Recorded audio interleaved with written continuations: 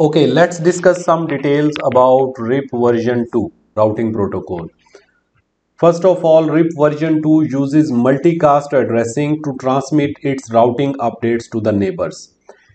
It uses 224.0.0.9 this multicast address to send its routing updates to the neighbors. We already know that usually routing protocols they use this kind of multicast address starting with 224. For example, uh, 224.0.0.9 is used by EIGRP and dot 5 is used by OSPF dot 6 is also used by OSPF for DR and DR others.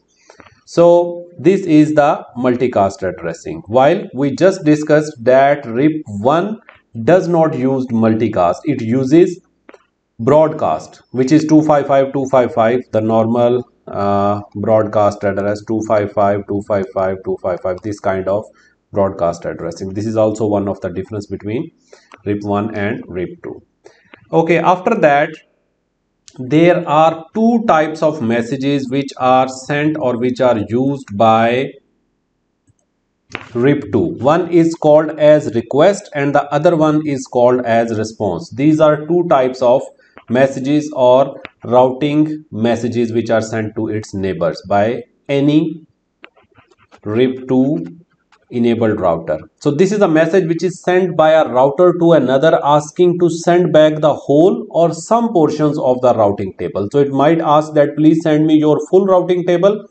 I need to update. I am a new router or I just need the increment. I just need the these portions of the routing table and in response it sends the routing updates either full or partial so this is called as types of messages of RIP2 routing protocol, two types, request and response.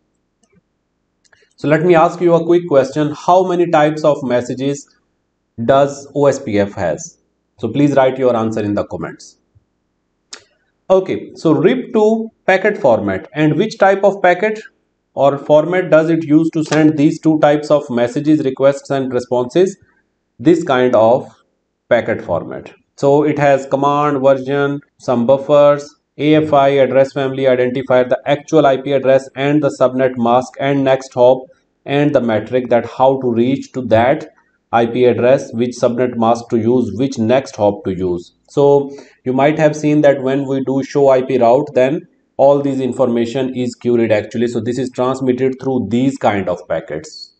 You can refer to my lecture, my uh, lesson which I made, the video I made about Wireshark in which I showed you these packets in detail that what kind of information is carried inside each type of these routing updates or packets like RIP sends, how it sends these kind of fields, OSPF, how does it send those five types of messages as well.